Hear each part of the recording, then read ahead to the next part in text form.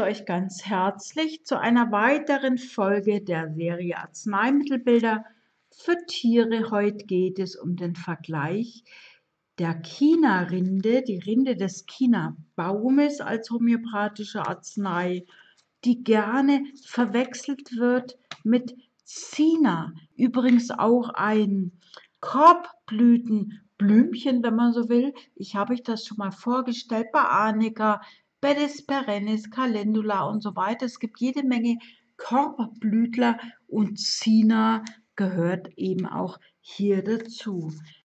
Mein Name ist Peggy Schmar, ich bin Homöopathin und Tierhomöopathin seit 30 Jahren. Ich bilde Tierhomöopathen aus, habe also eine eigene Schule und ich stelle euch hier in dieser Serie gerne Arzneimittelbilder für Tiere vor. Nicht mit allen Informationen, da könnten wir stundenlang drüber sprechen, aber so das wichtigste Leitsymptom, sogenannte Leitsymptome, die euch zum Arzneimittelbild führen. Und heute geht es eben um China wie das Land, die China-Rinde und Zina, der sogenannte Wurmsamen, beides mit C wie Cäsar am Anfang. Ich beginne jetzt mal mit der Rinde des China-Baumes. Es ist interessant, dass Samuel Hahnemann bereits vor ca. 250 Jahren, als er angefangen hat, homöopathische Arzneien herzustellen, dieses als erstes prüfte. Und unter Prüfen dürft ihr euch jetzt nicht vorstellen wie unter Laborbedingungen, sondern er saß damals in seinen Gewölben, vielleicht waren es Kellergewölbe, keine Ahnung, und hat einen Artikel gelesen, dass die China-Rinde, wir kennen das auch heute noch, die chininhaltige Arznei wirksam sei bei, damals hieß es Wechselfieber, heute sprechen wir von Malaria. Er wollte mal ganz genau wissen, warum funktioniert das. Und er war ja überhaupt auf der Suche nach hochwirksamen Arzneien. Er war ja Arzt und Apotheker für seine Patienten, dass vor allem die Kriterien hatten, sehr schnell wirksam, anhaltend wirksam und vor allem natürlich auch nicht giftig, weil wenn ihr euch, wir haben ja schon ein paar wirklich giftige Arzneimittel besprochen, zum Beispiel Belladonna von den Nachtschatten, das ist ja hochgiftig, die Tollkirsche oder Akonita, Sturmhut oder viele andere auch. Meistens ist es sogar so, wenn es ganz besonders giftige Pflanzen sind, tragen die auch eine ganz besondere Heilwirkung in sich. Also das war allsam bestrieben, die reinen Arzneien, das gilt jetzt nicht nur für Pflanzen und sondern auch Mineralien, tierische Produkte und so weiter, eben sie erstmal ganz stark zu verdünnen, um ihre Giftwirkung auszuschalten, weil das ist wunderbar, dass Belladonna eine Arznei ist bei hohen Fieberschüben, aber es nützt ja nichts, wenn ich den Patienten dadurch vergifte. Also ein ganz starkes Verdünnen Böse Stimmen sagen ja auch, darum wirkt ja die Homöopathie gar nicht, weil ja gar nichts drin ist. Egal wie, ich gehe jetzt einfach mal darüber hinweg. Die sogenannte Arzneimittelprüfung, die Hahnemann also als erstes ausgeführt hat, war mit, dem, mit der Rinde des China-Baumes. Er hat ja früher selbst sehr viel mit, mit Pflanzenarzneien, die damals bekannt waren, mit Urtinkturen, Salben und so weiter äh, seine Versuche gemacht, auch viel behandelt in eigener Praxis, dachte sich eben, das muss irgendwie, ja, ich kann meine Patienten nicht, nicht vergiften, wenn ihr noch mal weiter zurückgeht in der Historie äh, im Mittelalter. Es gab ja viel Syphilis-Kranke, die wurden behandelt mit Quecksilberpräparaten, Mercurius, habe ich euch vorgestellt bei den Mineralien, eine besonders wirksame Arznei, aber im Mittelalter, man kannte dann ja noch keine homöopathisch dynamisierten Mittel, sondern eben man verwendete Quecksilbersalben, das war wunderbar, die Syphilis-Symptome waren weg, aber der Patient verstarb dann oft einfach an Quecksilbervergiftungen. Also das war Hahnemann ein wichtiges Anliegen, die Mittel hochwirksam zu gestalten, aber eben ungiftig, darum auch die starke Verdünnung. Und jetzt müsst ihr euch vorstellen, hat also doch viel probieren und am eigenen Leib eben mit der China-Rinde und auch später mit Familienmitgliedern, mit Schülern und so weiter ganz viele sogenannte Prüfungen erstellt. Also die gesunden oder relativ gesunden haben diese dynamisierten Arzneien eingenommen und dynamisiert heißt also stark verdünnt, später verschüttelt und auf, auf dicke Bücher. Früher hat man da sogar die Bibel mit einem schönen, dicken, fetten Ledereinband genommen und da diese, diese äh, verdünnten Arzneien geklopft, um sie zu dynamisieren. Und jetzt könnt ihr euch das so vorstellen, die Materie nimmt zwar immer mehr ab, der Arznei, ja, also die durch das starke Verdünnen, aber das Arzneiwesen wird wie, wie wach geküsst, also die Arznei in ihrem ganzen Heilwesen kommt stärker zum Vorschein. So können wir uns das vorstellen und dann eben, je nachdem, wie das verarbeitet ist, gibt es eben auch die sogenannten Potenzen C6, C4 bis zur C3 wird normalerweise verrieben, ist ja auch eine Art Verdünnung, mit Milchzucker verrieben, später dann verdünnt in einem Alkohol-Wasser-Gemisch, jetzt mal ganz, ganz kurz erklärt.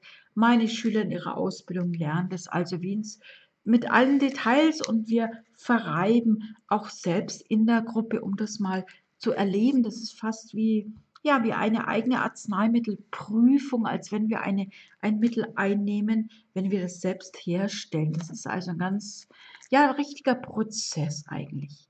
Also Hahnemann, das erste Arznei, die China-Rinde, schon deshalb ist es ist es wert, sich wirklich auch mit dem Stoff zu beschäftigen.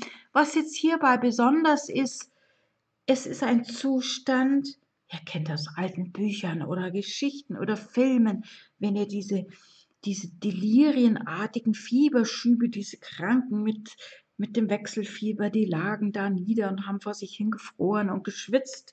Wir haben durch das viele Schwitzen, sei es auch vielleicht Durchfälle, die vorausgegangen sind, haben wir, nennen das in der Homöopathie, einen sogenannten Säfteverlust durch Schweiß, durch Durchfälle und so weiter. Und dann sind die ja so im Fieberdelirium oft, dass die auch nicht genug trinken. Die trocknen also richtig aus. Die Folgen von Säfteverlust, das kann also auch anschließend an irgendeine heftige akute Infektion, Krankheit sein. So entsteht also ein China-kranker Zustand, die Haut ist richtig kalt. Es muss nicht nur Fieber sein, Fieberschübe, sogenannte Wechselfieber, wie es damals hieß, sondern eben auch, hatte ich neulich jetzt gerade erst, ich glaube, das hat mich auf die Idee gebracht, über das Mittel noch zu sprechen. Es gibt auch Untertemperatur. Das ist ja noch gefährlicher, eigentlich lebensfeindlicher als Fieber, wo der Organismus, der Kranke, sei es Tier oder Mensch, ankämpft gegen irgendwelche Krankheitsstoffe, sondern die Untertemperatur, da hat der Organismus schon fast aufgegeben. Also ich habe einen starken Kollapszustand, der mit meistens einer starken Kälte einhergeht. An was erinnert euch das? Ich habe euch schon mal eine Arznei vorgestellt. Bei den Mineralien erinnert ihr euch? Das sogenannte Arsenicum album. Da habe ich über ganz ähnliche Dinge erzählt. Ganz starke Kälte, große Schwäche. Und da kann ich eben ja dann auch China differenzieren. Je komplizierter die Krankheitszustände werden, umso spannender ist ja auch die Mittel zu vergleichen. Ein anderes Kollapsmittel wäre auch zum Beispiel Kampfer, gibt es auch homöopathisch. Es ist auch eher bekannt als Hauptantidot, also wirkungsauflösendes Mittel homöopathische Mittel sollten nie in die Nähe von Kampfer, das riecht ja auch so ganz stark, äh, gelagert werden, weil es oft als sogenanntes Antidot dienen kann. Aber Kampfer gibt es eben auch homöopathisch ähm, dynamisiert und ganz schlimme Kollapszustände bis hin zum nahenden Tod. Arsen, wie gesagt, oder Carbo vegetabilis habe ich euch auch bei den Mineralien vorgestellt. Da habt ihr also schon einige dann zu vergleichen bei diesen heftigen, kalten, kollabierten Zuständen. Genau. Und also die Kälte, es kann auch mal eine Zyanose, also eine Blauverfärbung vorhanden sein, habe ich euch auch bei Carpe Vegetabilis vorgestellt.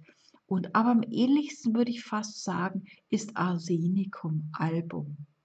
Kann also als Folge einer heftigen akuten Erkrankung, die vorausgegangen ist, die viel mit Schwitzen einherging, vielleicht beim Pferd oder bei Menschen, Hund und Katze werden wir jetzt weniger äh, den Säfteverlust durch Schwitzen haben. Aber stellt euch vor, eine säugende Kätzin, die ja, also zum einen gibt sie ja Säfte her, sie stillt ihre Jungen und dann bekommt sie noch einen heftigen Durchfall. Ja, das kann zu so einem China-Zustand führen oder auch zu einem Carbo vegetabilis Zustand. Da kennen wir das auch, wo der Mutter und die Jungen oder alle Durchfall haben und immer schwächer werden. Dann haben wir bei China auch Natürlich Verdauungsbeschwerden. Der gesamte Leberstoffwechsel kann gestört sein. Die Milz kann geschwollen sein. Die Leber kann geschwollen sein. Die, äh, ein sogenannter Ikterus, eine Gelbfärbung von Haut und Schleimhäute kann auftreten. Und äh, eine große Abmagerung. Und wie gesagt, die Schwäche, die ist wirklich geht oft einher auch mit Bluterkrankungen. Ich brauche China ganz oft bei den Blutparasiten von Hunden aus südlichen Ländern, Ehrlichiose, Babesiose. Äh, habt ihr sicher als Hundehalter schon mal gehört von diesen Geschichten. Oder eben Pferde, die sehr stark schwitzen, ja, die dann in so einem in so einen Kollapszustand geraten. Das sind wichtige Leitsymptome der China-Rinde und jetzt vergleiche ich das Ganze heute mal, damit wird es nämlich sehr gern äh, verwechselt mit dem sogenannten Wurmsamen Zina. Also Zina auch mit C, aber eben nicht mit H, sondern Zina, der Wurmsamen, also ein Korbblütler, ähnlich wie Arnica calendula. Und äh, das muss ich auch vergleichen mit Camomilla, ist ja ein weiteres, ein weiterer Korbblütler. Da habe ich auch Verdauungsbeschwerden, äh, Bauchschmerzen und Zina. Bei Zina ist jetzt noch stark im Vordergrund, ähnlich wie wir es von Camomilla kennen, die Widerwilligkeit, die, die Erregbarkeit, das heftig Launische, vielleicht Kennt ihr das? Camomilla lässt sich ja nur beruhigen, wenn ich das Kind rumtrage, wie es oft bei Zahnungen vorkommt. Und ähnlich ekelhaft ist eben Zina. Und auch wenn es jetzt Wurmsamen heißt und wenn ihr bei, bei Google das Ganze mal nachschlagt, dann wird euch Zina und Abrotanum gerne als sogenanntes Entwurmungsmittel homöopathisch fortgeschlagen. Ich bitte euch damit sehr kritisch umzugehen, weil wenn ihr schon ein bisschen mit der homöopathischen Denkweise vertraut seid, wir arbeiten ja nicht nur linear, Würmer ist gleich und dann eine, eine homöopathische Arznei wie nach dem Rezeptbuch, sondern es müssen schon gewisse Leitsymptome vorhanden sein. Bei Zina ist das zum Beispiel, es kann also ein Wurmbefall, nehmen wir mal an, Spulwurmbefall, da sein, aber mit einem starken Juckreiz der Nase und des Aftes. Das Tier würde sich also dann da reiben, die Nase, die Nüstern reiben, am, am Pop, am After kratzen, beißen. Das wäre also ein schönes Leitsymptom von Zina. Kinder bohren dann zum Beispiel viel in der Nase, aber ich brauche es sehr viel häufiger, bei den sogenannten zentralen nervösen Störungen. Ich habe euch schon mal was erzählt über Epilepsie bzw. epileptiforme Krampfanfälle und da kann Zina von angefangen von unwillkürlichen Ticks, Zuckungen, wie wir es manchmal auch bei Headshakern haben, ja, bei den Pferden, äh, bis hin zu epileptiformen Anfällen, also die auch vom zentralen Nervensystem, also vom Gehirn ausgehen, bis hin zur echten Epilepsie. Und zwar haben wir da eben, ich lese hier gerade mal nach, ja, da steht auch nur Krämpfe, Zuckungen der Glieder, das Pferd, äh, das Pferd sage ich schon, der Klient, das Tier kann aufschreien, kann Zähne knirschen dabei. Was haben wir denn hier noch? Ja, es kann schielen dabei. Und diese Anfälle können regelmäßig stattfinden da muss ich es also auch differenzieren zu einigen anderen Mitteln der, der Epilepsie. Und an dieser Stelle möchte ich nochmal betonen, bitte liebe Tierhalter, kommt nicht auf die Idee, und behandelt euren Hund, der vielleicht unter epileptischen äh, wiederkehrenden Anfällen leidet, selbst. Das ist viel zu schwierig und zu komplex das Thema. Äh, bitte überlasst das einem erfahrenen Homöopathen. Ich habe sehr viele Epileptiker in Behandlung, sei es jetzt ausgelöst durch Narkosen, durch Impfung, durch familiäre, durch Vererbung ist das auch sehr häufig oder eben später im Alter durch eine Minderdurchblutung im Gehirn wie auch beim alten Menschen. Bitte überlasst das erfahrenen Therapeuten, aber ihr selbst könnt wunderbar akut behandeln, eure Familie, eure Haustiere. Und denn ich spreche ja hier mit diesen Audios nicht nur Therapeuten an, sondern euch als Tierhalter in erster Linie eigentlich sogar. Also Zina ein wichtiges Mittel für die Nervenempfindlichkeit, ähnlich wie Camomilla, das ist ja auch wahnsinnig empfindlich, leicht erregbar. Und Bauchschmerzen können also bei Zina und China vorhanden sein. Äh, ich zähle jetzt nicht nochmal alle Mittel auf, die für die, für die Krampfneigung in Frage kommen. Das sind einfach allzu viele und ich habe in einem früheren Audio auch schon mal über Krämpfe und zentral nervöse Störungen gesprochen. Ich möchte euch nur einladen, ähm, wenn euch diese Mittel begegnen, schaut sie euch doch mal genauer an. China, die Rinde des China-Rindenbaumes, Hahnemanns, allererst geprüftes, an sich selbst auch geprüftes homöopathisches Arzneimittel. Also allein deshalb ist es schon, finde ich, wert, sich dem, dem Mittel mal anzunähern. Hat viel mit Erschöpfung zu tun. Und bei Zina stehen wirklich auch die Verhaltensauffälligkeiten im Vordergrund das Schreien, das Erregbare, das sehr launische. Das Tier will nicht angefasst werden und ist so richtig widerwillig und ekelhaft. Ähnlich wie Camomilla oder auch Arnika möchte auch nicht angefasst werden, auch noch ein, ein Korbblütler. Und da könnt ihr es ganz gut differenzieren und so lernt ihr immer mehr Arzneimittel kennen und ja, natürlich wird es auch immer komplexer, indem ihr diese Mittel vergleicht, aber das macht es auch eben unglaublich spannend. Und gerade in der Tierhomöopathie lernen wir wirklich sehr flexibel zu sein, weil jede Situation ist eben anders und wir arbeiten mit den Informationen, die wir bekommen. Manchmal ist das Tier ja aus dem, frisch aus südlichen Ländern, aus dem Tierschutz, aus dem Tierheim. Aber mit der Zeit lernst du den homöopathischen Arzneien auch zu vertrauen, den Tieren zu vertrauen und auch den Tierhalter mit immer, immer mit einzubeziehen in die homöopathische Begleitung, denn keiner kennt sein Tier so gut wie der Tierhalter selbst. In diesem Sinne hoffe ich, ich konnte ihr auch heute wieder ein Stück mehr begeistern für die Tierhomöopathie, ich freue mich, wenn du mir einen Daumen hoch gibst, wenn du diesen Kanal abonnierst, falls noch nicht getan.